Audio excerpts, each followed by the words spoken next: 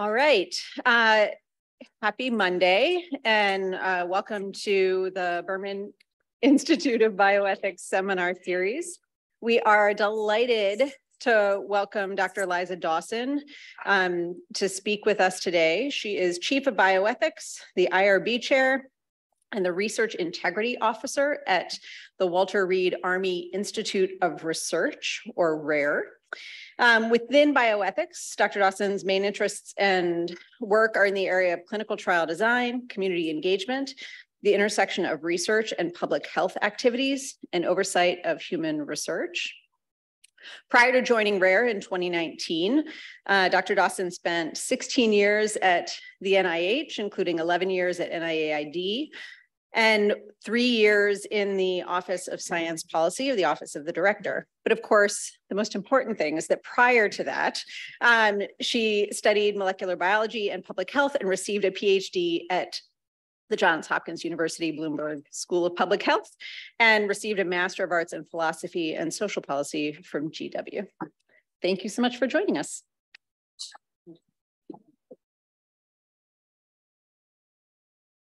Okay, Thank you, Deborah. Thanks, everybody. Um, can everybody hear me okay? Okay, sometimes I'm humble. Um, so I'm going to talk uh, about, let me just get rid of this screen. I'm going to talk about um, upper limits on uh, risks in research. Um, this is really a work in progress, and you'll be able to tell as I go through it that it's there's some thinking that I haven't really finished. And uh, so I really welcome discussion and any kind of challenges or questions you have. Also want to mention that my colleague, Dr. Jake Earl, who's in the audience, um, has, has worked uh, with me thinking about some of these issues. Um, and I really appreciate his his input and his uh, feedback. However, this presentation is just just reflects my thoughts at the moment. Um, and maybe we'll hear from him if he agrees or disagrees as I go along. So um, I have to say this uh, mandatory disclaimer that this doesn't represent my employer's views, only my own. Um, so I want to talk about how, why, how did we get interested in thinking about risks and upper limits of, of risk in research? And most of you probably heard about sort of a controversial proposal to do COVID challenge studies uh, when the pandemic was uh, expanding and we didn't yet have vaccines challenge studies, as I think you probably know, but just to make sure, um, they involve enrolling uh, volunteers where half the volunteers, for example, would get an experimental vaccine and half could receive a placebo. And, and then people would be exposed to the virus, in this case, in a laboratory setting, so deliberately infected, in order to determine the effectiveness of the vaccine.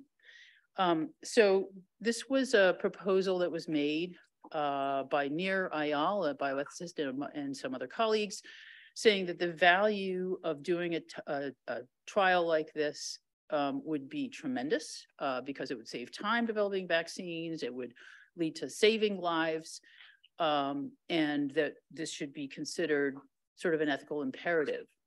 So this engendered a big debate um, about was this too risky? Would people understand the risks? Uh, would the promised value of the research to uh, hasten the arrival of vaccines and save lives from COVID infection. Would that truly materialize? And so um, Jake and I, uh, along with another colleague, joined the fray and wrote a commentary about this along with a lot of people. There were many, many papers written and commentaries published talking about this debate um, and were the risks justified how high were the risks? Were they justified? Um, and people on both sides weighed in. So this kind of raised the question, well, when are the risks of a non-therapeutic or non-beneficial study too high? So that's the question that I want to talk about today. So um, should there be upper limits on risks in non-beneficial research? And I'll talk about what I mean by non-beneficial. Uh, if there are limits, what are the what's the justification for them, and what should the limits be? So just to talk uh, to clarify what I'm talking about in terms of the types of benefits of research, as we all know, we have to balance benefits and risks in research with human participants. their risks and burdens to the people, and then there potentially direct benefits to the people in clinical research and other types of studies, and then indirect benefits, which we often refer to as social value, of the knowledge gained and the application of that knowledge to health concerns. So the type of studies I'm going to talk about today are the ones that don't have any direct benefits for people. They have only the knowledge gained or social value type of benefits. And we have to decide how much risk is ethically acceptable in these studies. Um, so the first argument that people make, or one of the first arguments people make when they want to say that we should have no limits on risk, is that uh, is this appeal to the autonomous autonomous authorization of people who join the trials. That is, in a sort of a free uh, liberal society, we let people decide uh, for themselves what type of risks they would like to undertake. Um, and uh, you know, with limits, uh, obviously, when when the there's a negative or impact on the interests of others. But in this case, the impact is um, allegedly positive. This is a people taking risks for altruistic reasons to help other people, to benefit society. So um, if people are fully informed and they we can verify that they understand the risks and they uh, comprehend what they're getting into and they freely choose, why should we stop them? That's one of the first arguments. So there are reasons we might stop them. Um, so um, Frank Miller and Steve Joffe wrote a paper in 2009 about limits in research. It was long before the COVID controversy about whether there should be upper limits. And they, they say that paternalism in research and that is limiting the kind of risks people would take is actually justified for, for two main reasons. One is that people don't always make good decisions about that reflect their values and interests. There's defects in decision making that are well known. Um, even when people are given information, despite all our best efforts, despite informed consent, et cetera. So um, with very risky studies, people might make decisions that actually aren't what they truly believe is best for them um, due to these failures in the decisional process. And part of that difficulty about research is that research is highly technical and difficult to understand. It is not something that a layperson can necessarily readily grasp. So paternalism is warranted, said Miller and Joffe, because of this decisional possible possible decisional defect. And the other thing they warned about is that the social value of research, this prospect of benefit to society, is also uncertain. So if we if there's an possible incremental benefit of knowledge gained. We don't know if it will emerge. We don't know how big it is. We don't know what the effect will be. So exposing people to very high risks might not be warranted if the social value doesn't provide a, a um, proportional benefit. so part of this issue about social value is it's hard to predict when you look at an individual protocol what what the results are going to be or how impactful they they will be for for the advancement of science or, or protection of human health. And so part of this is that, as we know, science advances through a whole series of studies on a given topic or with a given intervention. It's not a single protocol or a single trial that can be definitive. And so portfolios of research might give us more of an idea of where social, social value might, might emerge. But even that is, is really, um, it has a lot of uncertainty embedded within it.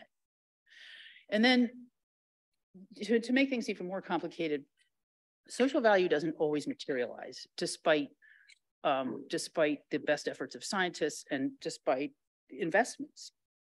So I'll go through this example pretty quickly because I think everybody knows probably that we don't have an effective HIV vaccine. But um, the part of what's interesting about this is that over the many decades of HIV vaccine research, there's been the hope and the promise that we would have a vaccine in a few years every few years. So um, there were, you know, tens of thousands and in fact millions of deaths that were at issue. The social value, the potential benefit of vaccine was well recognized in the sense that it could have prevented untold numbers of infections and and deaths uh, e both before the advent of antiretroviral therapy and even afterwards when people don't know it didn't always have access to it. And so in 1998, people were speculating if there would be a vaccine within 10 years. Um, there was, uh, in that fiscal year, $239 million dedicated by NIH to AIDS vaccine research. Uh, in two thousand and one, Jose Esparza, who is an HIV research expert, uh, said that a vaccine would be available within the next two to six years. In twenty fourteen, um, the lion's share of uh, vaccine research uh, coming from the US at eight hundred and forty-one million dollars. Uh, still no vaccine. Um, and in twenty fifteen, um, three quarters of all global HIV prevention research was going to vaccine uh, work uh, around the globe and yet no vaccine has emerged. So the point being, despite this massive influx of, of funding and some of the, you know, really the best minds in science are working on this problem, we didn't get the fruits of that research. Um, it, it, didn't emerge uh, in, in a form that actually was an intervention that could save people's lives. So that's part of my caution about the uncertainty of social value when it comes to taking risks. So I want to shift gears slightly, and I want to talk a, little bit about um, the structure of research more generally. So we, we raised a couple of objections to the idea of there's no limits on research based on decision making and social value, but there's there are other reasons that we might that might give us pause. So research, as we know, is a complicated sort of social endeavor.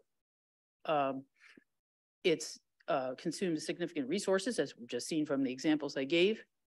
And with these uncertain results, both short-term and long-term, the gains are, uh, in the end, there are gains, but how they will, how and when they will emerge and what, what types of spe specific research topics and areas uh, will will be fruitful is is always highly uncertain.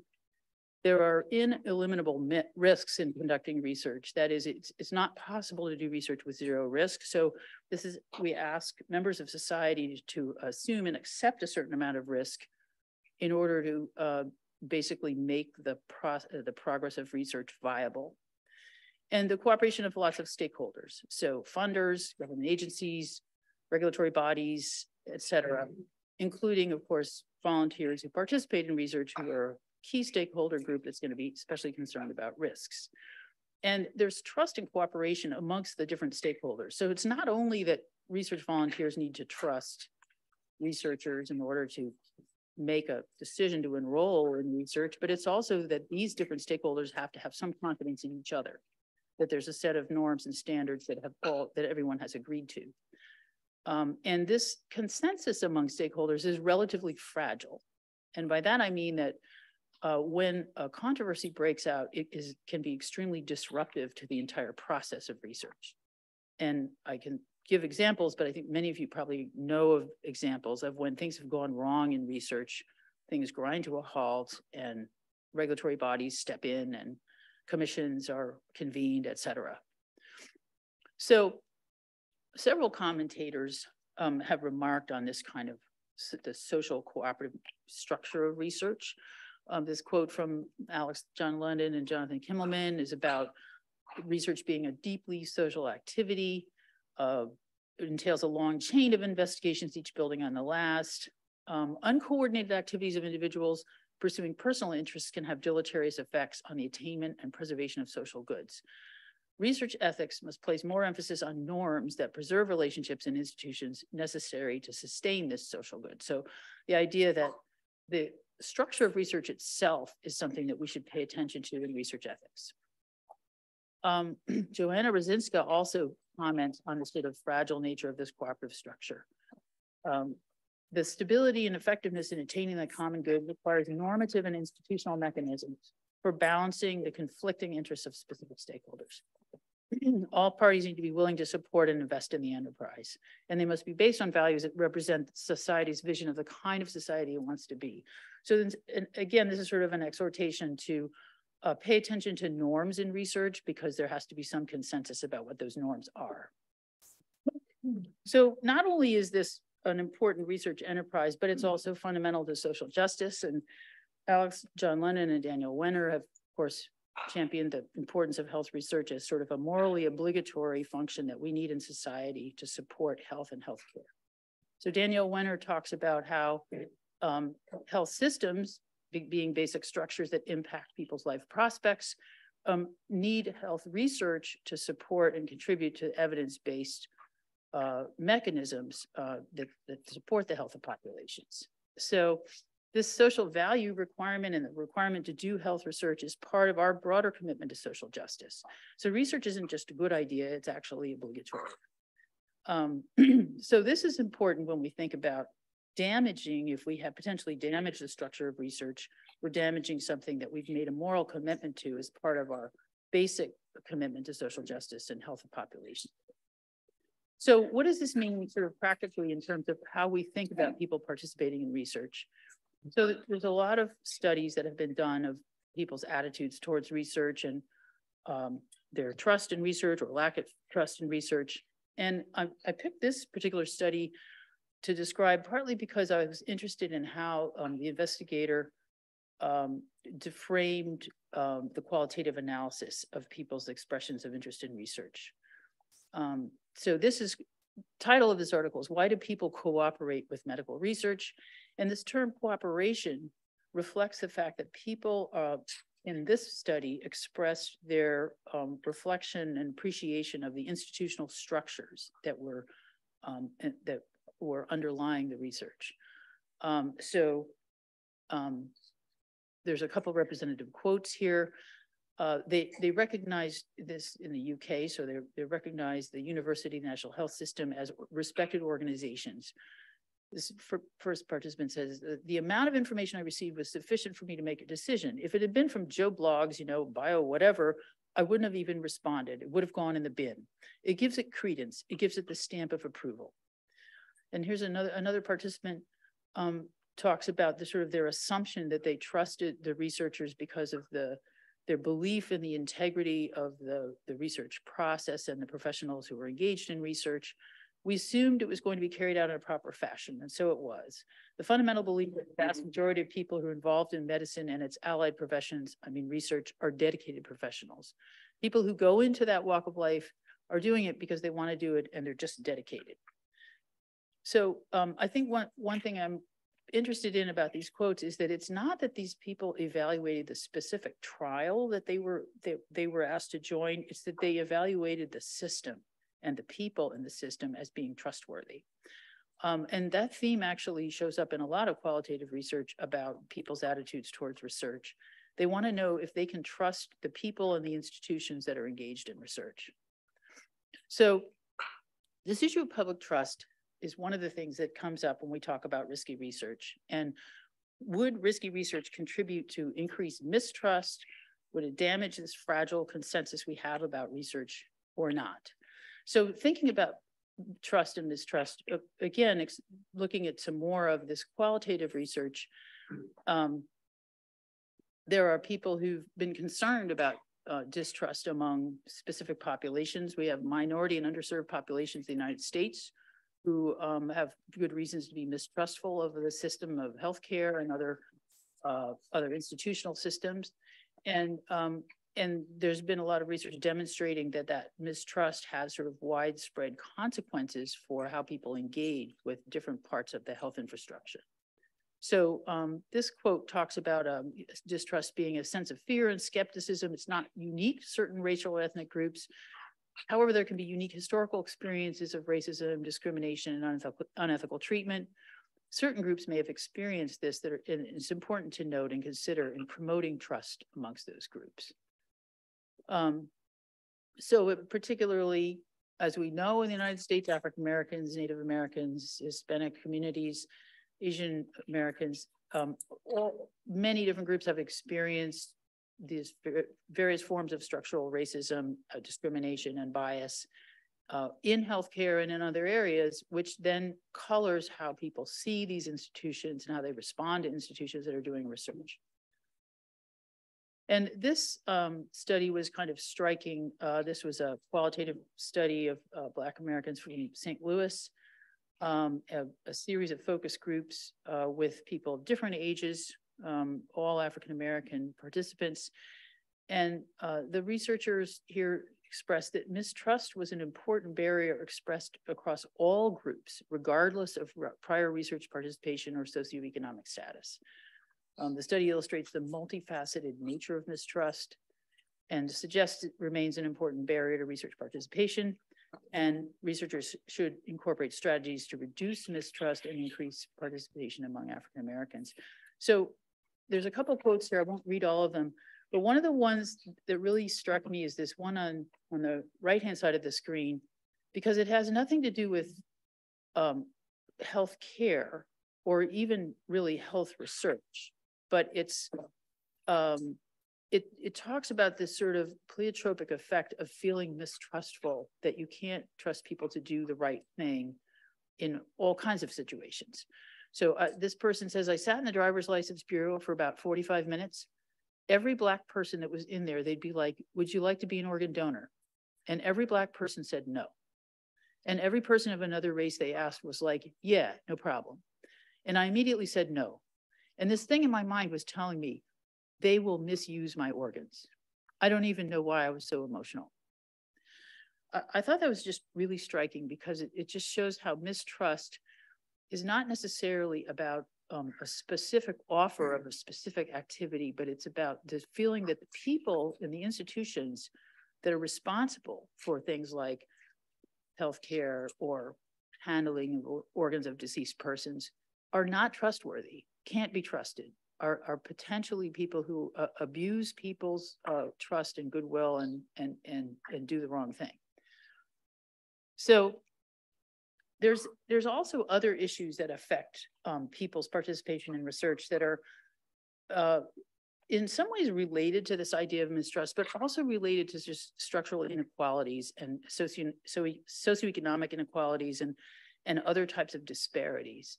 Um, and uh, this is also well known to a lot of people in research, but it, it's it's relevant to this idea of people being sort of disenfranchised and not well served in research. Um, so this is an interesting study by uh, researchers who were basically did an anthropologic study of two research sites, one which is a, um, a public hospital and one um, that is an academic medical center. And they uh, did a sort of ethnographic study of what it was like to be uh, conducting research or being approached to participate in research in these two centers. And they talk about how in the public hospital, which is social hospital, they refer to, um, there were really, there was a lot of limitation in people's ability to engage uh, with the offers of research. Um, there was, a, there were they describe this as sort of limited cultural health capital or limited familiarity with research. Um, and the providers themselves um, limiting the type of research offers that were made to people because they felt that um, the public insurance wouldn't provide enough coverage for people, that there would be, there were more important pressing healthcare needs, that there were sort of limitations in the infrastructure and the the human capital available to do research in with this more marginalized population, especially in comparison with the academic medical center, where potential research participants showed up well-informed, ready to engage with uh, researchers and, and people recruiting for clinical trials sort of as, as equals. Um, so the, the authors talk about the fact that while the, the researchers in general had a commitment to increasing recruitment of minority participants, um, the, the idea of just sort of plopping into this public hospital without any additional support for um, the, the differences in educational background and familiarity and infrastructure that were there um, was basically unfair in their view. So they say, um, ostensibly supporting increased enrollment of minorities, um, the trial sponsors continue to allocate resources for recruitment based on a generic model of a well-educated English-speaking middle-class patient in a well-funded clinic.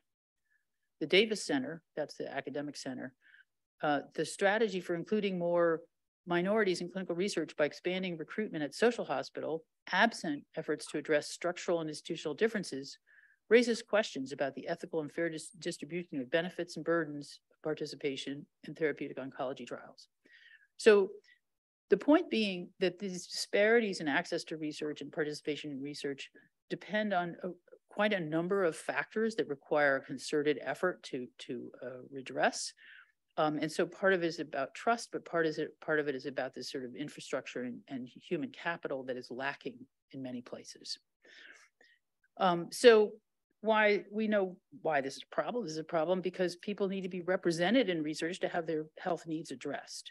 And underrepresented underrepresentation in research, research harms these same groups.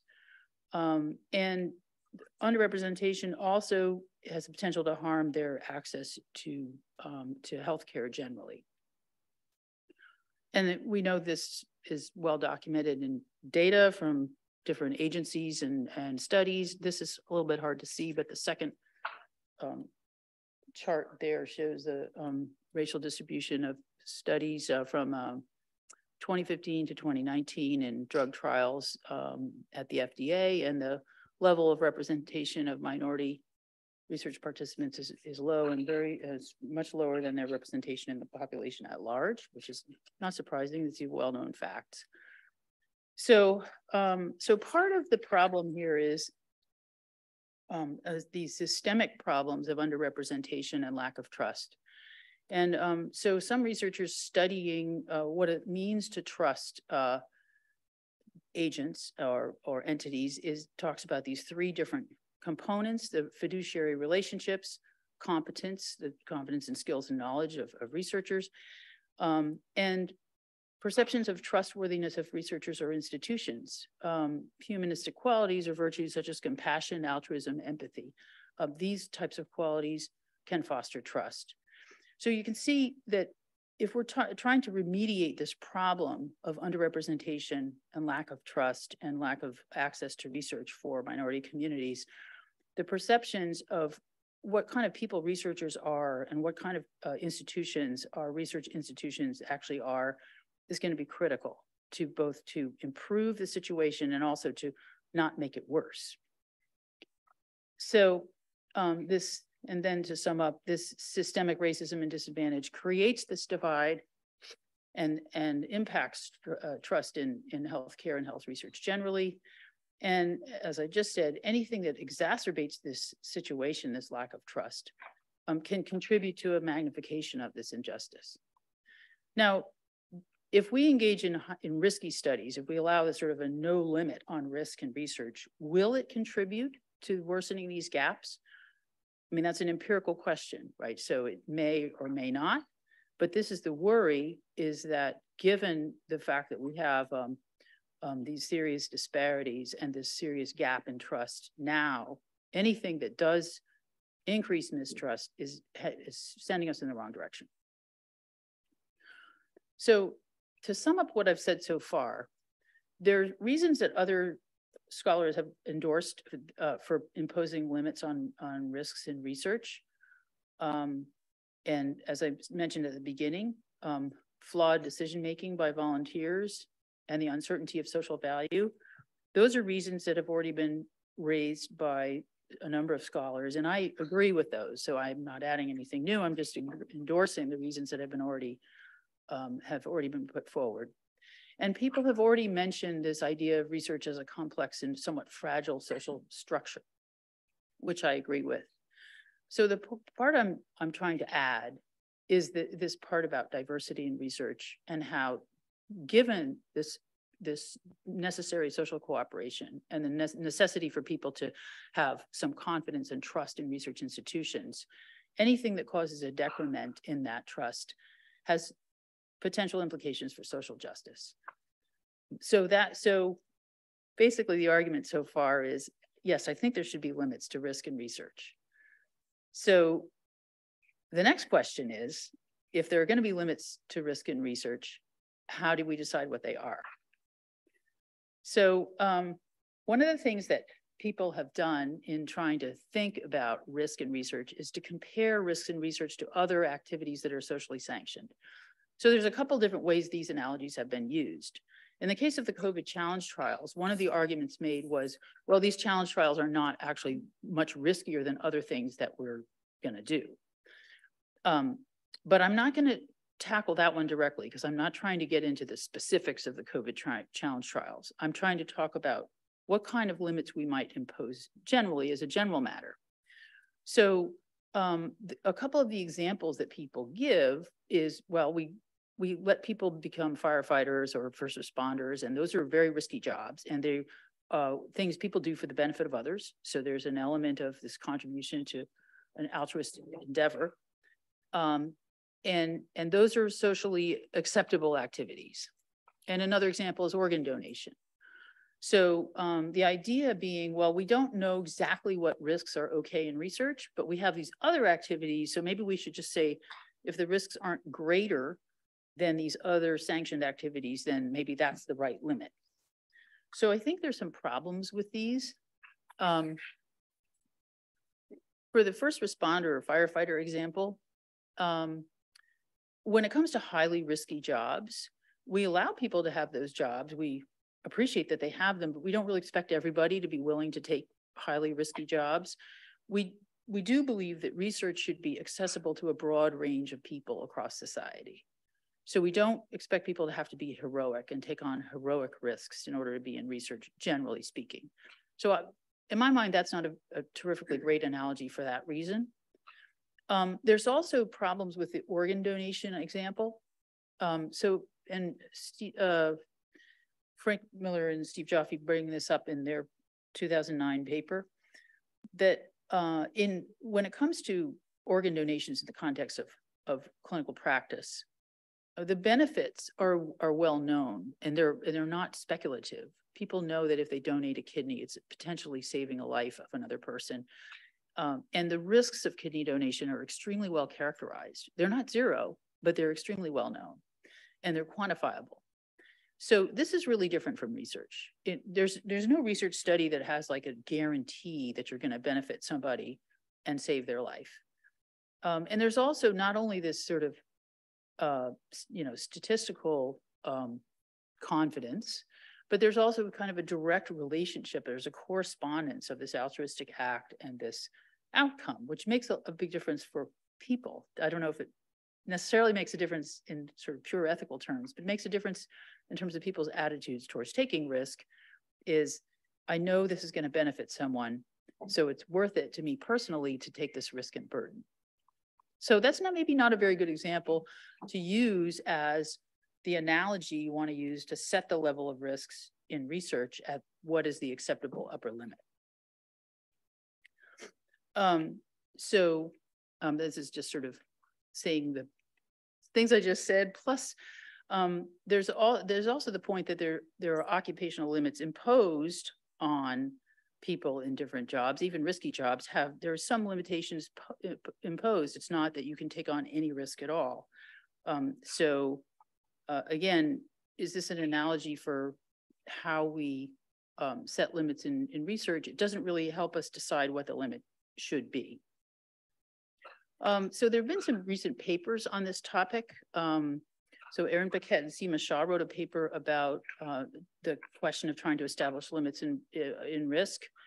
And so they review these, some various arguments, including these comparator activity arguments. Um, and they, they basically find that most of these are unsatisfactory. Um, they, they come up with an interesting proposal, which doesn't really help us figure out what the limits on risk should be, but actually is a proposal that would help um, make certain types of risky research more palatable, I think. So their proposal is to that uh, people who engage in uh, research that's of no direct benefit to them for altruistic reasons are making a contribution to society that doesn't receive su sufficient recognition. So they compare this type of contribution to someone like an astronaut who is putting themselves on the line, potentially, you know, life-threatening situations uh, to advance societal goals, space exploration or science or other goals. But they're, they're, they receive a lot of recognition and acclaim. They might receive more financial re remuneration.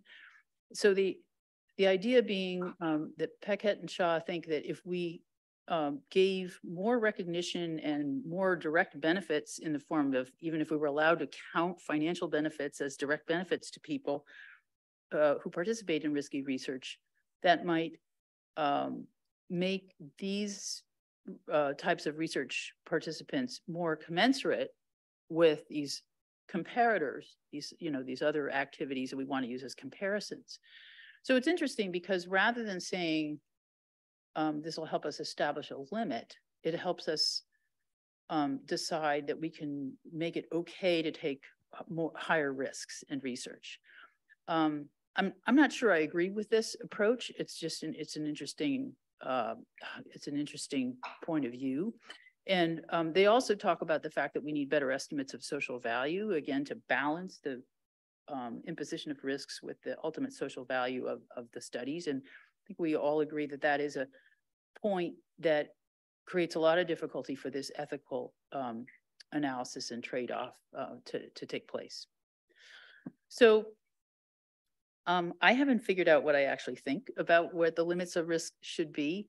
I think there should be limits for all the reasons that I mentioned uh, earlier throughout the first part of the talk. I think there should be a, an upper limit on risks for for research that does not provide direct benefit to study participants. Um, what the limit should be, I don't know. And um, commentators often distinguish between uh, the procedural uh, mechanisms for setting limits, like should there be a, a committee or a process or a commission versus a substantive standard.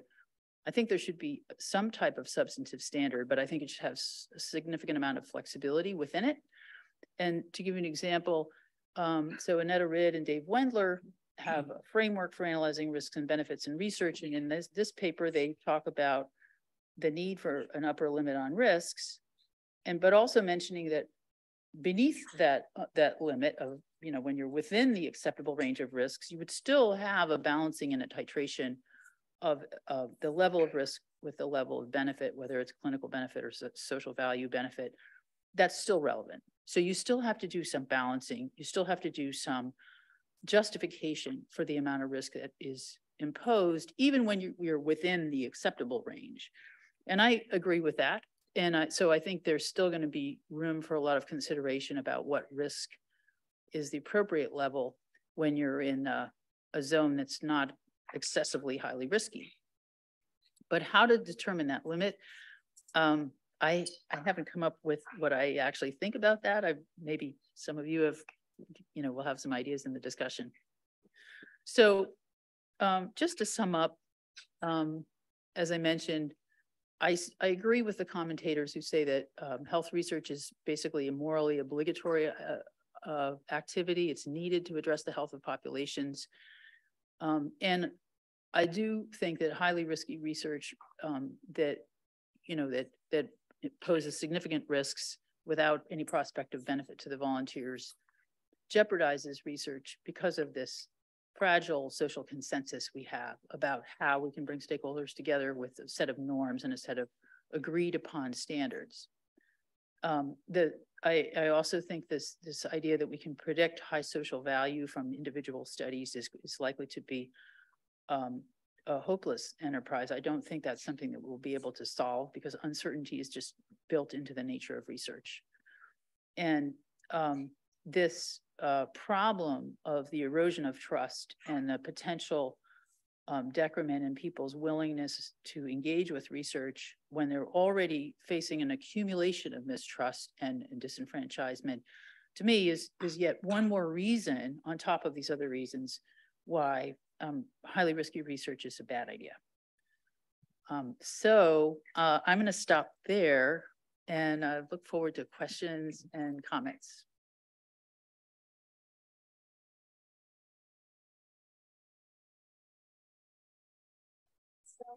Much.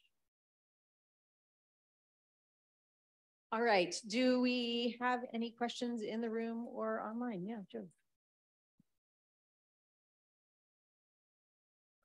Uh, uh, thank you for the talk. It's super interesting. And I just had this thought on my mind as you were presenting the last slides. And so I just wanted to ask it if you heard, heard seen anything about this. I was wondering, has anyone considered insuring against the risk uh, for like ensuring the participants so that if they have negative consequences from say a challenge trial, then they would receive associated benefits because because uh, it seems like if you couldn't get an insurer to cover that, then it seems like maybe we shouldn't do it at all, right? But if you could, then then there is a, a sort of a cushion, potential trust mechanism. And so I am just sort of curious if anyone had been considered sort of that avenue of using insurance mechanisms as a way of mitigating these risk-based considerations um, to sort of deal with these high risk contacts? Yeah. Yeah, so interesting question. So there is such a thing as clinical trials insurance. And in fact, you know, countries other than the US, it's actually uh, often required. So um, that doesn't necessarily tell us that the risks are acceptable. It just tells us that somebody's willing to pay out. so I'm not sure if it helps us answer the ethical question. It could possibly, um, you know, help us address the question of people's willingness to engage. But um, I think part of the part of the concern I would have is that the kinds of risks that are you were most worried about are the serious and irreversible harm and death. and you know, so paying out isn't gonna fix those, right? It might help your family members. Um, but um, yeah, I think it's um, you know, and, and then we have as many in the room know, I'm sure we have the problem in the United States of we don't have a policy of compensation for injury and research at a federal level, which has created a lot of problems throughout the whole course of clinical research in this country. But that I see that as somewhat of a separate issue, uh, partly because that compensation for injury issue really cuts across all types of research, not just super risky research. And and also combined with the fact that the fact that we have examples of clinical trials insurance in other countries, we know that that's a thing. It can it can work, but it doesn't solve this sort of moral or ethical problem about when is it an excessive risk that we've asked somebody to take, even though we're covering them with with compensation. And I hope I've answered your question. Well, I guess one last thing, which is that if, if you couldn't get insurance, that might be a standard for like if, if someone can't evaluate the risk well enough to insure against it, then that might provide a, at least one pra pragmatic standard where like you wouldn't be able to, if you had, if you required insurance and then couldn't get insurance on the experiment, and then it wouldn't go through. And so it seems like there's at least this sort of way of, of using insurance-based thinking to deal with this risk base. So. Oh, yeah. Well, so that's interesting. So one of the things I put in my you know, very tentative criteria about limits is that, um, you know, people think about probability and magnitude of harm, um, but there's also the, you know, the uncertainty or the confidence interval around those estimates. And so I do agree that one important, uh, I would put the criterion slightly differently from the way you did, but it's going, getting at the same issue, which is about how much do we know about the risk? And if you just don't know enough, then that's a reason to say it's in the too high a risk category, it even when the risk in the end might not be as high as as you potentially thought, but you have too little information. And in fact, that was one of the things we put in our short commentary about COVID, the COVID challenge trial situation was we don't know much about COVID and especially not in 2020. Um, and so the not knowing much is part of the criteria for giving us pause. And then, you know, of course, how do you decide when you know enough, right? So there's there's that, but certainly the difference between one of the examples that I like to give is that like in our institute, we do malaria challenge trials. I, I think they're perfectly reasonable from an ethical point of view. And I think the COVID challenge trials in 2020 was not reasonable based on this lack of knowledge. We know a ton of stuff about malaria, all, you know, all aspects of it, treating it, preventing it, uh, pathology, course of disease, et cetera, et cetera, et cetera. So it's a difference of knowledge is, is part of the part of the thing. So thank you. Thanks, Liza. Talked, thank you. Um, I was surprised that you didn't include the nature of the risk. So you had probability and magnitude, but I think some of the issues you're facing are troubles understanding what the nature of the risk might be. So there's certain kinds of research where you're going to know the risk of X is Y, right? So the risk of death is this, the risk of pain is this, the risk of headache is this, the risk of a rash is this. All of those are risks, but the nature of those risks can differ quite substantially, regardless of their magnitude and duration. So I think getting at part of the issue with, say, the COVID one was the uncertain risks that we, didn't know and risks to others. But can you say more about why you're not including a delineation of nature risks? Yeah, well, it's a great question. Um, I haven't gotten very far on this problem. But the, um, I mean, so the first two criteria, uh, you know, I think I have on there somewhere. Um, is, um, the threat threshold of, you know, for risk of death and ir- irreversible serious harm. That's got to be on the list of things you've got to be concerned about, right? There's other things you have to be concerned about. Um, but the question here, if those are risks, the question is what percentage, you know, what probability level is too high, right? Because, and this is one of the problems with our legalistic culture is that there's all kinds of research that will have a consent form that says there's a risk you could have anaphylactic shock and that might be life threatening and blah, blah, blah, with something that where the risk is infinitesimally small, but it's still on there as, you know, something. And so at what level, what, you know, probability level and with what certainty level do we just say that's too much risk? So that's the problem with even the things that we recognize are seriously bad things. And then I agree with you. It, it makes a lot of sense to think about the other types of risks and how we might try to evaluate them. For example, you could have serious harm that's not completely irreversible, but it takes years to be reversed. So it's a, you know, sort of a QALYs and DALYs type of thing. How much, you know, how much of your life are you giving up for the experience of this, this burden of the potential harm? Those are, those are all relevant. Um, so I think there's both a practical side of trying to think through what the risks are. And then again, there's this kind of ethical piece of how are you going to set thresholds? And I don't think any of the mechanisms that have been proposed for setting thresholds are very helpful yet. So, Yeah, I maybe push you just a little bit on this. I think it might be worth exploring the nature of the risk, of the things that could happen in this research. What are the types of risks, right? And each of those may be qualitatively, qualitatively different and quantitatively different, right? So if you had a, a risk of a headache, right? Or then a severe headache, right? And I know you want to set an upper level, but you, you, in order to do that, you're gonna have a spectrum of things that might happen within the course of, of the research, right? One of them, like you pointed out, would be death. Others would be severe pain, a stroke, any number one of these things. And I think you could set upper limits, not on each one of those, right? So each resource, each kind of research activity is gonna have a different uh, portfolio of risks. And that portfolio would need to be assessed in aggregate. It's not that only one bad thing can happen in the research setting. no, absolutely. No, that absolutely right. And, and I think that look, looking in detail at that catalog of risks would be helpful. Um, it's, it's one part of the puzzle, but as I say, I haven't gone very far down into the weeds on this, but thank you for the question. We're gonna take one online and then. Yes, so we do have one comment in the chat from Travis. He says, I wonder if another of the differences between risk analogies also matters for establishing upper limits. And that is something like who is imposing the risk. The thing about challenge trials that worries me is that if someone says dies from COVID after being exposed to COVID in a challenge trial, the research straightforwardly killed them in a way different from when a standard trial risk materializes. The research gave them COVID, which we knew would kill them, and it killed them. Uh, if the government funds the research, then it's worse. The government killed the subject with its research. So yes, I know people die in research, so that's a risk of research in a sense, but it's not one of the things that our intervention standardly does.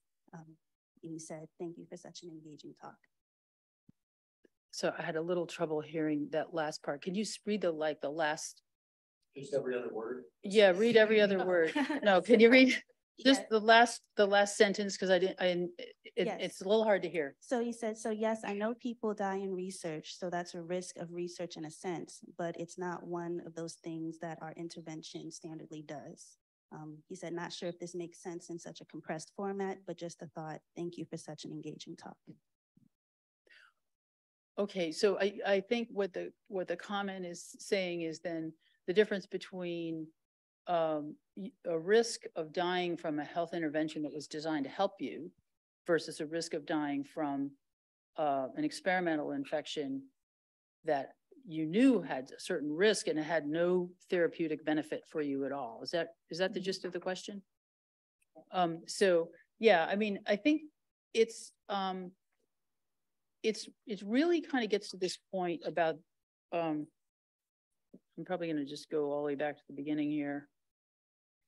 Um, it goes back to this difference between these two graphs, right? Like, so you, I mean, diagrams. so in the, in this one, you have potential direct benefit to people from a health intervention or some type of intervention. And then you have some risks and burdens to people.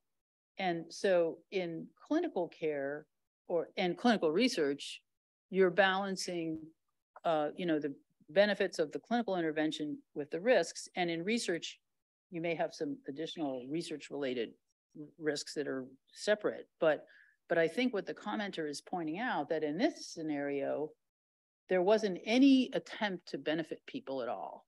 It was simply imposing a risk. And, and that, and then if there's a bad outcome, um, you know, it, it, I think the commenter is, is saying it's, you've essentially said the sponsors of the trial, or the researchers have effectively killed somebody um, for no, for no good reason, right? It wasn't, it wasn't that you were trying to help them and, and the, the intervention went awry, which is, I think, the kind of worry that we have is that um, although we want to get the social value, uh, the benefit of knowledge gained, sometimes that high price can just see, seem morally unacceptable to us that we were trying to get knowledge and when somebody had to make that level of a sacrifice for the benefit of knowledge. Whereas if they had gotten the benefit of, you know, it was an attempt to treat them clinically, then it's a different moral equation. Um, I hope that sort of answers the question. I hesitate, I, I hesitate to put, it's very risky to sort of try to guess what Travis would want to say next. So I don't know who's responded, but I think it's even a stronger point, Liza, than the general point about uh, if you're in a trial with no prospect of direct benefit, the fact that something bad happens to you is not offset by the prospect that you might have directly benefited. I think he wants to make the stronger argument that in the the proposed COVID challenge trials, people were being injected with something that it was known could kill them, right? Even though we weren't sure of the likelihood at that point of a young person actually succumbing to a COVID infection. And that's different, right? Somehow morally different than a situation in which you enter a trial, even one for which there is no prospect of direct benefit, where there is a small chance of death uh, and that death materializes, than one in which the you know the, the scenario is is so different as it was in the in the COVID challenge trust. I think it's something like that. I'm not expressing it. Uh, I think exactly as Travis would, but it's something like that that I think he's getting at. It's an even stronger yeah, and I,